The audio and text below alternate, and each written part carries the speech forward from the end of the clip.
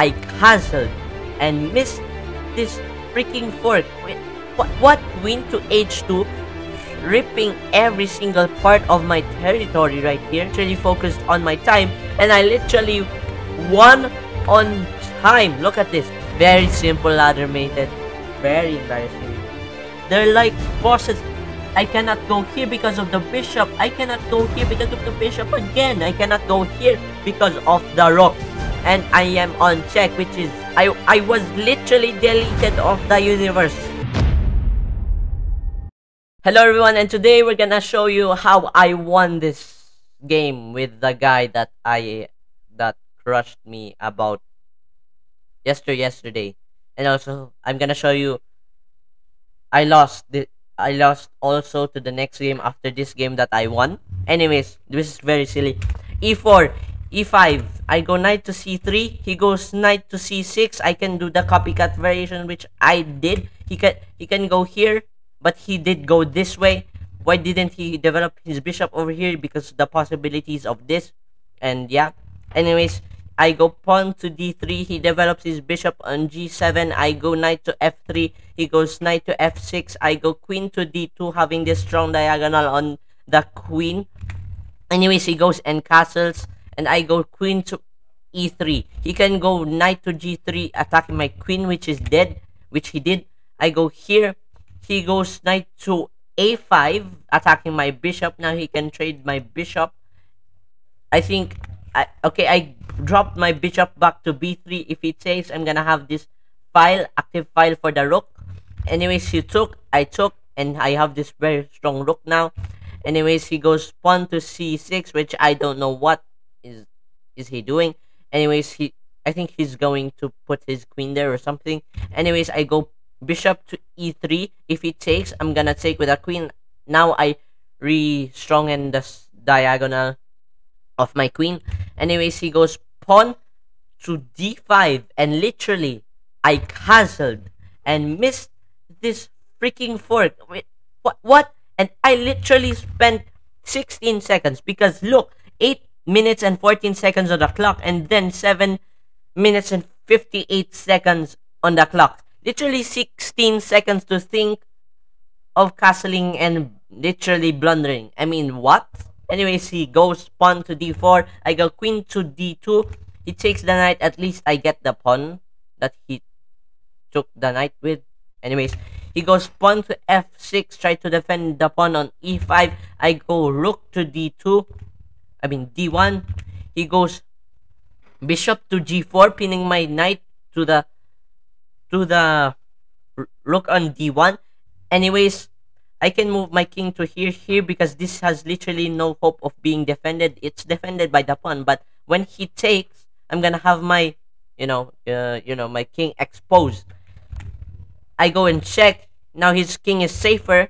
I go and attack the bishop, which is a mistake. Now I doubled my pawn structure. He goes pawn to f5, which is a great move, because if he were to take, he would have this file over here which attacks my weakened pawn when he traded the knight and I doubled my pawn structure. Anyways, he took, I took with e4 and attacked the queen, which I did not, which I did do. I should have done is e4. That would still blunder a pawn because literally it would open the doors for my f2 pawn. Anyways, I go here, attack the queen. He goes queen to f6, avoiding the danger. I go queen to e2. He goes rook to d8, crushing the file. And I cannot take because, you know, if I take, he's gonna refile it. Anyways, I go here. He takes. Why did he... Oh, wait. I should have taken with a queen. Although he might attack me here. This is protected by the queen, by the way, if he goes there. I took with the pawn. He goes and checks me and I go g2 and goes and checks me again for no reason. I go h2, he goes bishop to, I don't know, h6, finally developing his bishop there on my king side territory.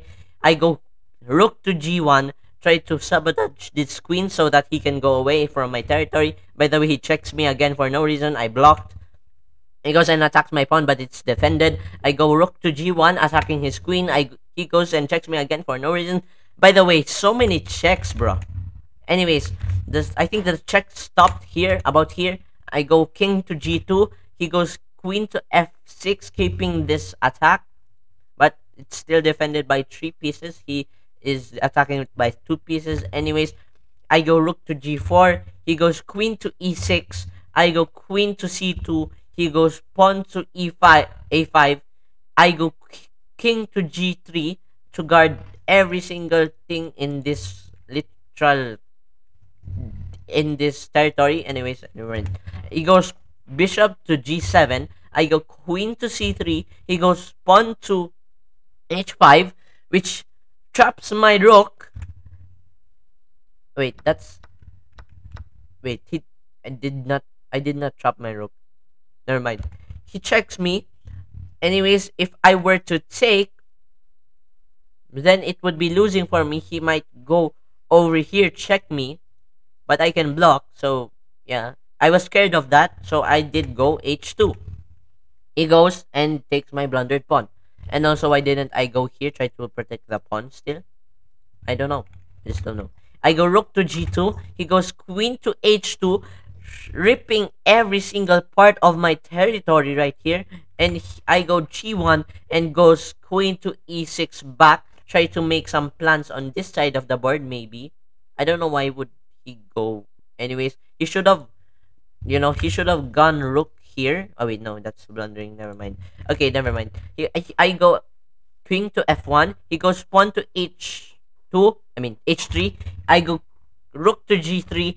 He takes. I take. He goes queen to h6, defending the pawn on h3. I go king to e2 and now the essence of time comes in i knew that i need to beat him on time because i have 24 seconds and has 18 seconds so I literally traded the pawn for the, the queen and I literally forgot about everything and literally focused on my time and I literally won on time. Look at this. Oh wait, why did it turn to 16 when he lost on time though? I won on time. Literally one second and then zero and then I won on time. Wow. It starts with e4. I go Scandinavian. He takes. I'm gonna go for the modern variation. He goes knight to c3, which is a blood blunder for his pawn, which is a trade because literally he took my pawn, other pawn or something. Okay, he goes there. I'm not gonna try to take because if I try to take, he's gonna develop his knight. So I go pawn to e6. So if he takes my queen, I'm gonna have a pawn on the center of board still. If I take with a pawn, if he he goes pawn to g3, try to develop his bishop over here so that if I take if he takes, I'm gonna take. He's gonna take last, and then I took on the queen and literally fell for the trap of his developing of the knight. Anyways, literally kind of losing for me because it's now 3.6 for him. Anyways, he goes bishop to g2, developing his bishop. I go bishop to d7. He goes castles. I go bishop. I mean knight to c6. I he goes pawn to h4. I go castles. He goes knight to f I mean knight to g5 try to threaten this port I can go here guard the pawn so which maybe I did no I took the the the knight instead which is better because I have literally this waiting file. If I go here if it takes I'm gonna go here take the pawn. Okay he I go there. Now I have this very active file on him right now. Okay there you go. And he got this pawn to d4 attacking you know my piece on uh, c6 or something. He literally blundered the pawn. Did I say that he blundered the pawn? Anyways, oh wait, I blundered the rook. Oh, the purpose of pawn to d4 was to take this rook right here. I took uh, the pawn anyways, so I blundered. Yeah. Anyways, I took the bishop. He goes rook to d1, attacking my horse. But I can go here, try to attack this. But once that happens, he checks. I can go here oh wait and then I can take this wait I did not do that wait can I literally take boom wait huh oh wait I cannot wait can I? Wait. Wait. Boom boom. Okay wait I, I think that doesn't work actually because my knight is blocking the way. Anyways he goes pawn to a3 I go pawn to a6 he goes rook to d2 I go knight to e1 being trapped. Anyways, he takes with the rook. Anyways, I go pawn to c6. He goes pawn to f4. I go rook to e8. He goes pawn to g4. I go pawn to e5. He will take the pawn, right? No, he didn't take because I would make my rook active if he were to take. I take the pawn because there is no hope for that pawn actually. So yeah. Anyways, rook to g6, rook to g8. I mean, he goes and doubles his rook. I can literally go away. He can go here now maybe and trade my rook for the rook. Anyways, he goes and attacks my pawn. I take the pawn and protect my other pawn which is on e5. He goes king to f2. I go bishop to e6. He goes and doubles the rook again for the second time. I go pawn to f6. Try to the try to defend the e5. He goes b4. I go king to d7. He goes rook to h1. I prevented the you know this, but I did not prevent this, so he might go there. No, he didn't go there. Literally didn't go there. I traded because I don't know why did I trade. Anyways, I go rook to g5. He goes and checks me and goes b7. The whole reason that this rook was breaching in is that he made this file to check me and literally take this pawn maybe and very weak pawn. Anyways, he blocks it and I literally took away the block and literally missed this fight. this rank, I mean. Anyways, I blundered. I literally went full speed and yeah, mated. Very simple ladder mated. Very embarrassing. And yeah. Anyways, time for the third game. This game is going to be quick now. Okay. I go e4, he goes e5, I go c3, he goes g6, I go f4, he takes and accepts the gambit, I go f f3, try to prevent some lines for the pawn from pushing, and then he goes bishop to g7, which literally attacks my knight. If he attacks my knight, I can take either with these two pawns. I didn't like that, so what did I do? I did... What I did is I got back to e2. He goes f6, I go pawn to d3. He goes knight to h5. I go pawn to g3. He takes, I take. Now I have this very active file. By the way, from the past and from the past games from this guy, I literally, I always have this active file either on these two rooks. And I literally lost. Except for that one game I which I win on time. Anyways, he goes and castles. I go bishop to e3. He goes c6. I go queen to d2. Try to, you know, infiltrate which wait wait why didn't i go here and also i blundered upon which why didn't i go here or here which is protected by two knights anyways i blundered wow i blundered wow why did i blunder because i was literally over that up because of beating him anyways i go and castle protecting the rook on a1 anyways he goes pawn to b6 i go rook to b2 attacking the queen the queen goes back. I go knight to g5 and also the elo bar is on a roller coaster right now. He goes, oh wow, oh wow. Anyways, he go I go g5. Literally, I can just go here.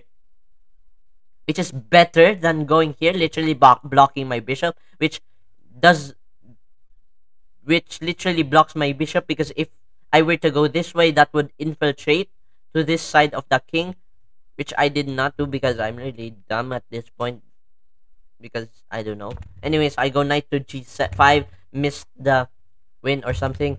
Anyways, I go f3, he goes g5, I go g4 attacking the knight.